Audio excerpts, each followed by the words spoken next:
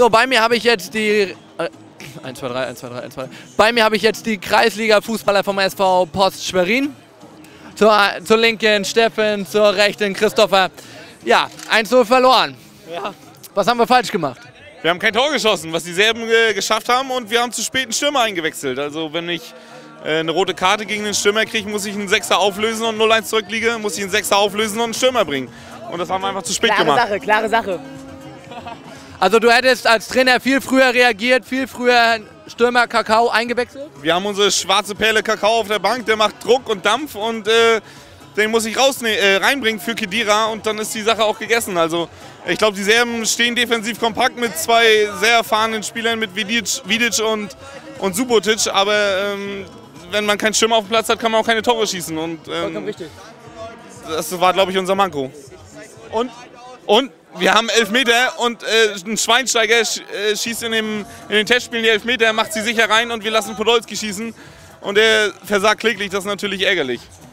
Ja, siehst du das äh, ähnlich? Hat uns. Äh, Nicht nur ähnlich, das sehe ich genauso. dann- also ist das auch ein äh, taktischer Fehler, ein Trainerfehler? Ja, ja. Das ist eine absolute Katastrophe. Und vom Trainer total falsch entschieden. Also dort keinen Stürmer mehr zu bringen, es geht nicht. Weil ohne Stürmer schießt du keine Tore.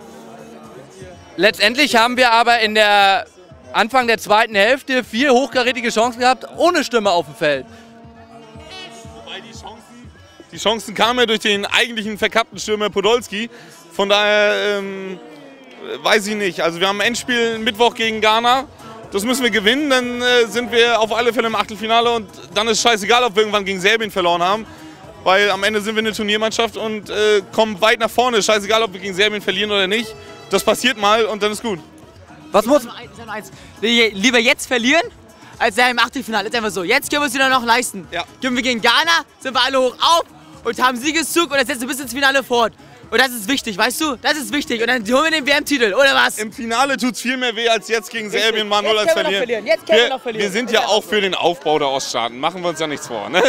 Und dann kann man gegen Serbien auch mal 1-0 verlieren. Die freuen sich jetzt, äh, kommen eh nicht weiter und wir gewinnen das Turnier und fertig ist die Sache. Was muss man denn jetzt tun, um äh, naja, keine Aufbauhilfe Afrika zu leisten im nächsten Spiel gegen Ghana? Ja, das Gute ist, äh, Yogi hat jetzt die Möglichkeit, entweder unseren blinden Gomez reinzunehmen oder unsere schwarze Perle Kakao, der Urdeutsche. Ähm, ich hoffe, dass er sich für den richtigen entscheidet, nämlich für Kakao, weil der macht Dampf, der macht Druck nach vorne. Und wenn er das macht, dann gewinnen wir gegen Ghana auch und wir werden keine Aufbauhilfe Ghana machen, weil einmal ein, ein Außenseiter nach vorne putschen, das reicht. Mann, Fakt ist einfach, wenn wir das Ding gewinnen, sind wir im Achtelfinale. Das muss Motivation genug sein. Ja. Da braucht Löw gar nicht groß rumreden. Leute, wir sehen das Spiel gegen Ghana. Drei Punkte und wir sind im Achtelfinale und haben noch eine geile WM vor uns. Und Es wir sind immer noch Deutschland. Also Wir sind wir, Deutschland, sind, wir, weißt sind, du? wir haben drei WM-Titel auf der Uhr. Wir sind immer noch eine Wir Turniermannschaft. wollen den vielen Stern, den vielen Stern wollen wir! So ist das und so wird es auch kommen. Also wir werden weit kommen in dem Turnier und gegen Ghana werden wir einfach gewinnen, weil wir einfach die deutsche Nationalmannschaft sind. Und ähm, da brauchen wir uns nichts vormachen. Ghana kann zwar ein bisschen laufen und dann hört es auch auf. Weil, ähm, wenn du jetzt Jogi Löw wärst, würdest du lediglich zur Aufstellung heute Klose mal Kakao tauschen? Ja gut, muss, ja. muss ich ja jetzt, dadurch, dass Kakao, äh, das Klose gesperrt ist. Ähm, über Gomez brauchen wir nicht reden, weil ich meine, der hat bei der Euro genug gezeigt, dass er nicht tauglich ist, äh, den Druck auszuhalten. Das zeigt er bei Bayern eigentlich auch immer wieder. Ähm, den Kakao, der hat eine gute Saison gespielt, genauso wie Kiesling. Auch der hat eigentlich eine, äh, eine Chance verdient. Ich weiß nicht, warum man den nicht einsetzt, genauso wie warum man Kurani zu Hause lässt. Ähm, das ist nicht meine Entscheidung, das ist die Entscheidung des Bundestrainers. Der wird sich schon noch was dabei gedacht haben. Und ich denke, dass Kakao im nächsten Spiel von Anfang an spielt. Das ist die einzig richtige Entscheidung. Was ist ähm, dahinter? Ich meine, wir haben viel über den Sturm diskutiert. Klose oder nicht Klose, die hat sich erstmal erledigt. Ähm, dahinter, wir haben jetzt äh, erfolgreich gespielt mit der Dreierkette gegen Australien. Heute hat es nicht funktioniert. Was ist mit Alternativen? Marin hat nicht gezeigt heute. Was wäre zum Beispiel mit einem Toni Kroos, der eine starke Saison gespielt hat bei Leverkusen? Was denn? Es geht um Toni Kroos. Äh, Toni Kroos hat seine Zukunft vor sich. Eigentlich, wie ich dachte, auch äh, Thomas Müller. Gut, den hat er jetzt ins kalte Wasser geworfen. Ähm, Toni Kroos hat seine Zukunft vor sich. Ich glaube nicht bei dieser WM. Wir haben in zwei Jahren in der Ukraine und Polen die Chance, dann einen Toni Groß, groß rauskommen zu lassen. Und ähm, bis dahin hat er noch seine Zeit. Also ähm, ich denke, dass er bei dieser WM keine Rolle spielen wird. Doch. Anderer Meinung. Also ich glaube, ein Toni Kroos, den kannst du, also als jungen Spieler, der ist unbekümmert, allein schon wegen seiner Standardsituation, kannst du ihn jedes Mal bringen. Der, macht geil- der hat den geilsten Schuss in der Bundesliga, für mich persönlich, macht die geilste Standardsituation. Und zum Beispiel heute gegen einen Özil, der ein richtig guter ist, wissen wir alle, wissen wir alle. Aber der heute seine Leistung nicht gebracht hat, kannst du gerne mal einen Groß bringen, der einfach mal mit, seinem, mit seiner Unbekümmertheit, mit seiner Standardsituation einfach mal frischen Wind reinbringt und der vielleicht aus einer Einzelaktion das entscheidende, entscheidendes Tor macht oder entscheidenden Pass spielt, meiner Meinung nach. Genau so lassen wir aber auch einen Marin auf der Bank sitzen. Also ein Marin, der der Einzige in der Mannschaft ist, der einfach die 1-1-Situation sucht, mal, mal das Foul zieht, mal eine, eine Standardsituation sucht. Ähm, der immer, immer auf die 1-1-Situation geht, als Einziger in der Mannschaft meines Erachtens. Auch ein Ösel macht das nicht. Den lassen wir draußen sitzen und bringen dafür äh, einen Podolski, der, äh, ich habe Respekt vor ihm, weil der macht, hat einen guten Linken, der macht äh, gute Aktionen. Hat in der Saison in Köln nichts gezeigt, wirklich gar nichts mit zwei oder drei Toren pro Stürmer, da musst du dich verstecken in der Bundesliga. Ähm, und wir lassen Marin draußen sitzen, der meines Erachtens einer der besten Fußballer in der Mannschaft ist. Ähm, gut, da habe ich die Werder-Brille auf, weil als Werder-Fan äh, sagt man das natürlich, aber ähm, ich glaube, der erhält immer den Vorzug erstmal vor Groß, weil der, dessen Zeit kommt noch. Der ist 21 oder so, ähm, das kommt noch. Aber als Einwechselspieler hast du immer die Chance verdient. Als Stammspieler, also als von Anfang an hast du recht. Aber ich glaube, ein Toni Kroos, wie Marin, wie du schon sagst, der jetzt einfach verdient hat, bei, bei der ganzen Saison, die sie beide gespielt haben, musst du bringen. Selbst ein Marin, der vor allen Dingen noch ein bisschen mehr Erfahrung hat, weil er Steffens gespielt hat, musst du von Anfang an manchmal bringen. Ich meine, im letzten Spiel brauchst du die Mannschaft gegen Australien, musst du normal bringen. Ist einfach so, ist Fakt. Also machen, machen wir uns das vor, Groß hat eine Bombensaison gespielt, ähm, hat auch ein richtiges Umfeld, ob der jetzt nur zu Bayern geht und ob das das Richtige ist, ist die Frage. Aber ich glaube, für die WM ist es noch ein Ticken zu früh.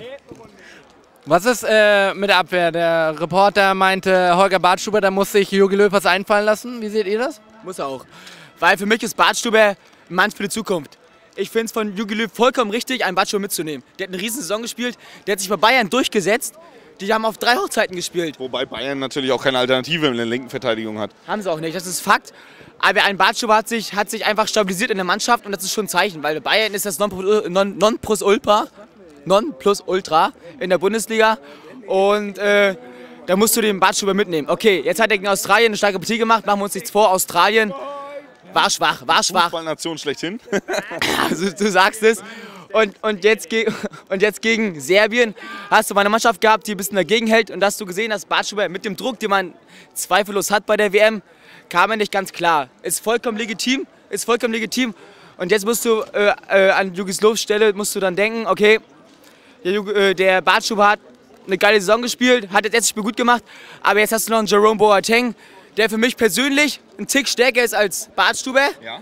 Dann Musst musst, du, dann musst du einen Lahm auf links stellen, weil da hat er bei der WM 2006 und oft genug gezeigt, dass er da richtig, an der ja. richtigen Position ist. Von daher, ähm, zur Not haben wir immer noch einen, obwohl ich als Werder-Fan natürlich gegen den HSV, äh, aber haben wir immer noch Marcel Jansen auf der Bank. Ähm, auch der äh, kann natürlich aufblühen und ähm, man hat heute gesehen, Serbien wird natürlich deutlich unterstützt. Sie haben viele unterstützt, unterstützt, unterschätzt. Die haben viele gute Spieler in der, in der Mannschaft. Ein paar, die Bundesliga-Erfahrung haben, ein paar, die internationale Erfahrung haben. Junge Mannschaft. Ähm, wir sehen, also natürlich ist es auch ein Schlag in die Fresse für, für so einen Bartstuber, wenn er dann noch, nach einer durchwachsenen Leistung heute gegen Serbien, ähm, wobei sich da keiner von ausnehmen kann, ähm, auf, der, auf der Bank Platz nimmt. Also ich gehe davon aus, dass der Bartstuber wieder bringt gegen Ghana. Dann haben wir nur im Sturm einmal die, das Problem, dass, oder das, das, das Gute, dass wir einfach mal einbringen können, der, der 90 Minuten Gast macht mit Kakao oder wen auch immer. Und dann schauen wir. Das wird schon. Achtelfinale willkommen. Klare Sache. Wir haben es verdient mit der geilen Truppe. Wir haben zwar eine junge Mannschaft, aber selbst wenn du siehst, ein Schweini, ein Klose, selbst Neuer im Tor ist für mich eine Führungsperson. Und da heißt nichts anderes Achtelfinale, nichts anderes zielt. Klare Sache. Gut, dann danke ich euch für die Analyse dieses Spiels. Es war sehr interessant, sehr aufschlussreich fürs nächste Spiel. Und bedanke mich bei Ihnen fürs Zusehen. Auf Wiedersehen, bis zum nächsten Mal.